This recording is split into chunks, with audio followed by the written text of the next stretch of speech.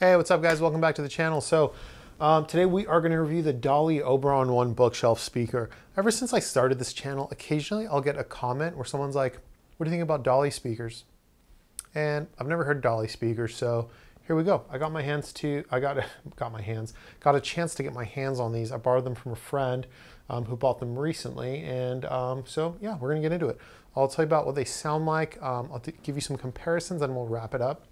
As far as specs and stuff like that, feel free to hop on their website and read the, that kind of stuff. I'll leave links below and maybe I'll leave it on the screen if I feel like it. But um, the ones that stand out to me are the tweeter is a little bit bigger than usual at 29 millimeters. That's a little bit larger than an inch. Um, and then the mid-bass driver is gonna be a five and a quarter inch wood uh, paper kind of hybrid, which I found kind of interesting because like at first I thought it was just marketing jargon because I'm like, wood, paper paper comes from wood. So like, was that just a fancy way of saying a paper cone? Um, that's what I thought initially, but after hearing it, I kind of changed my mind. So um, another thing I want to talk about real quick as far as like a standout feature goes is this finish. This is without a doubt the best vinyl finish I've ever seen in my life on anything. Personally, I freaking hate vinyl finishes.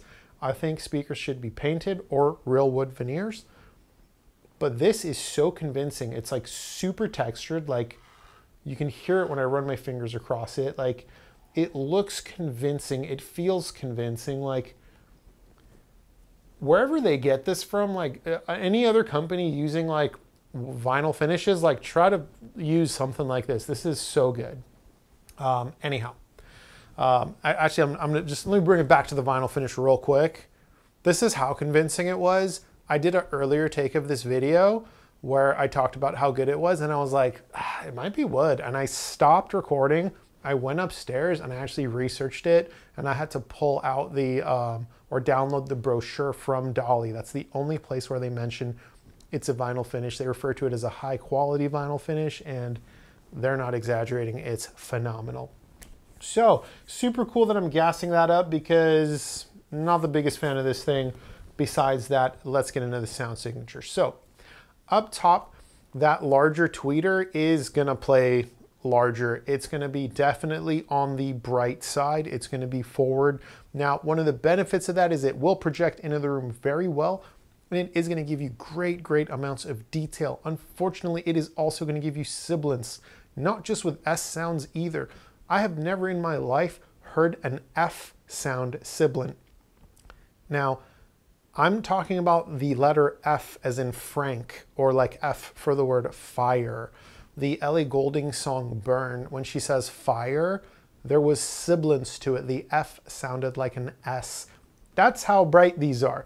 They are so bright, Dali knows they're bright, and they advise you use them with the grills on and never tow them in. And that is how I listen to them.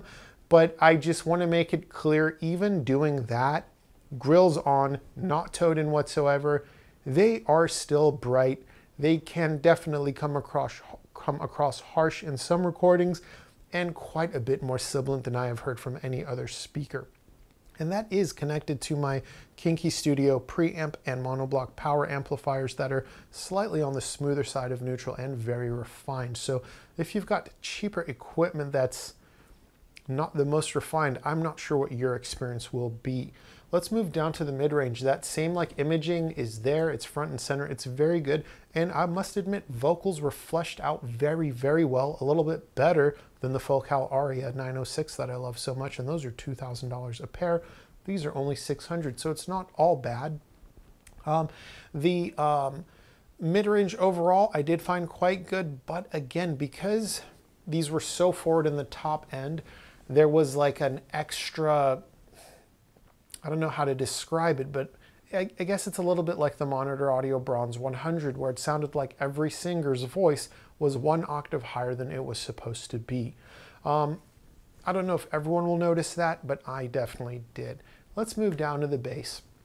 There's no mid there's no mid bass bloat to speak of, um, and these don't extend tremendously low. They are very small, but the bass that is there was actually very tight, very well textured, very articulate, and this is where I changed my opinion from originally thinking the wood fiber cone was just marketing jargon to maybe they're onto something here because um, I, I must admit the the bass tonal quality was something I found very pleasing um, at its price point of just $600 and especially for the size.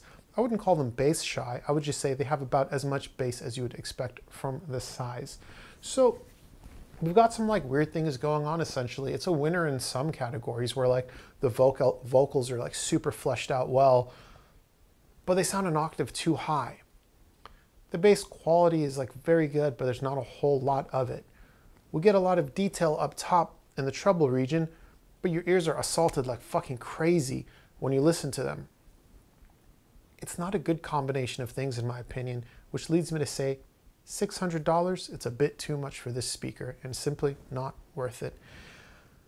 Yeah, it is what it is. Now, if you're a European customer, they will be cheaper for you. Um, it looked like the average European price was closer to about 400 bucks. I did find some websites even where they're as, as low as $375 now. That's US, so converted to you know euro and GBP, it was obviously a different figure, but that's about what they came out to. And around that price, I'd say it's quite a bit better, but the top end being so forward and lacking refinement is an unfortunate combination because here's where I'm at. So let's say I'm in Europe where they're cheaper, 400 bucks or so. If these are on my radar at 400 bucks, that means I'm putting together, uh, you know, let's let's call it a mid-fi rig, if you will. It means my, you know, preamp, power amp, or integrated amp is somewhere in the neighborhood of $1,000 or less. I'm probably using something like an Iota VX SA3. Um, it's not like if my $6,000 separates couldn't smoothen these out and give them a little bit of refinement, like nothing under $1,000 will. So you're going to be left with something that is going to be pretty fatiguing. And I do have room treatment to help bring that down. So I think these are going to be good for three people. Person one, your room is dull as fuck for one reason or another. You've got big, heavy curtains. You've got a shag fucking carpet from the 70s. You've got that popcorn ceiling shit going on. I don't know. For whatever reason, your room is just fucking dull. These speakers will sound good in that room because most speakers will sound dull in your room. So something overly bright, probably gonna sound normal. Person two, you're old as shit, so you're deaf as fuck. No offense, it just happens, guys. I just turned 38 a few days ago. I'm no spring chicken. But we must all admit, you know, and all jokes aside, as we age, we lose some hearing. Especially some of you guys, 65 plus, you know, you've been to a ton of Grateful Dead concerts, listening to a speaker right in your face just like for hours and hours, right? Like you took some hearing damage. Accept it. You know, put the ego aside. No big deal. It, it's we're none of us are going to have great hearing at 65. It is what it is. Because if your hearing isn't that good, you're not going to hear that like harshness as much. Instead, you're going to hear openness and clarity. And these, they have tons of openness and clarity. Honestly, it just it's a bit of an assault as well. Um, person three, these are good for. Maybe you're my age, but you've been using in-ear like headphones for a long time, blasting them to high hell while you're in the gym, been hitting concerts, music festivals, you crank the subwoofer in your car like crazy, so you've taken some hearing damage and you don't you don't have the your ears just aren't that resolving in the higher end, so you need something again on the brighter side. At the end of the day, if you're fairly young like me and you've got good good hearing, you're to hear these speakers and you're to say, "Fuck that shit! I don't want that." Um, they are bright, man, and I I know treble is like super personal, but I like the speaker I listen to most of the time for reference is the Focal Aria 906, and that's on the forward side of neutral. That's a little bit brighter. Focal is known for being a little bit brighter. So it's not like I'm coming from something dull like a Wharfedale. Not that Wharfedale is dull, but Wharfedale is warmer sounding, a little bit softer up top. I'm not coming from a Wharfedale and being like, oh, these are too bright. Like, no, I'm coming from something that's already on the brighter side. And I'm like, yo, this shit is too fucking bright. So, oversized 29 millimeter tweeter, what for? It should be smaller, honestly. It doesn't like need that shit. I I don't know. It's like when I hear speakers like that, it just makes me think like all the engineers that work at Dali must be old as hell. I don't know. I, or they're one of those companies, maybe they just do like the measurements only, nothing is tuned by ear. They don't even listen to it. They just maybe design it and build and send it. I don't know. Let's do comparisons real quick. 600 bucks. Let's compare it to the ELAC DBR62. Um, that speaker is a little bit bright up top as well, nowhere near as this. Um, this will be more detailed. Both are imaging champions. The Dali is actually going to image a little bit better. Both have excellent mid-range where the vocalist projects into the room is well and is very well flushed out. Uh, whereas the Dali bumps up the singer's voice an octave, the ELAC DBR62 does not, so it is the more accurate. The DBR62 has been described by some people as a smidgen boring. I don't find them boring, but if you do, I don't know, maybe you'll like the over-the-top Dalis.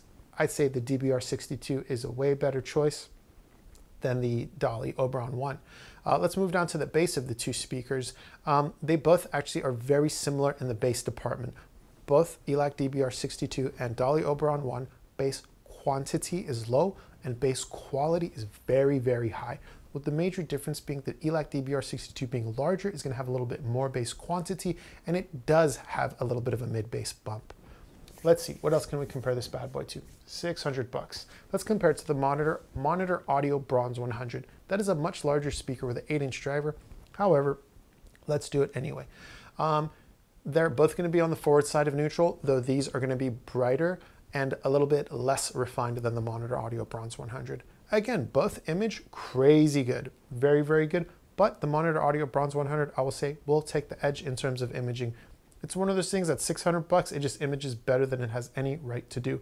And by the way, the Monitor Audio Bronze 100 is very similar to the Dali Oberon 1, whereas European customers are more likely to find them for about 400 bucks.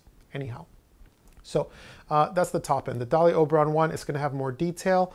Um, the uh, Monitor Audio Bronze 100 watts going to have a little bit less detail by direct comparison. It will be the cleaner sound. It will be less fatiguing for most people, I believe, and more refined sounding. Moving down to the mid-range, vocals are flushed out more on the Dali Oberon 1. The Monitor Audio Bronze 100 is going to have more dialogue clarity and voice intelligibility for those of you that are going to use it for a TV or theater system. So I actually sold my Monitor Audio Bronze 100s because I didn't like them very much. And then I bought another pair for TV use upstairs because they are so good at dialogue clarity and voice intelligibility. Um, let's move down to the bass. Neither speaker has a mid bass bump. Moving down to the bass overall, the Dali is going to be tonally more textured and articulate with its bass than the Monitor Audio Bronze 100. The Bronze 100 is no slouch in that region. The uh, Oberon 1 is just a little bit richer tonally. However, the Monitor Audio Bronze 100 being an 8-inch driver is going to extend much, much, much lower in its frequency response and give you quite a bit more bass. So that's my comparison. I'm not going to really compare this thing to anything else because honestly, I wasn't the biggest fan of it if you can't tell. If you have any questions, let's chat about it in the comments below. And until next time, later.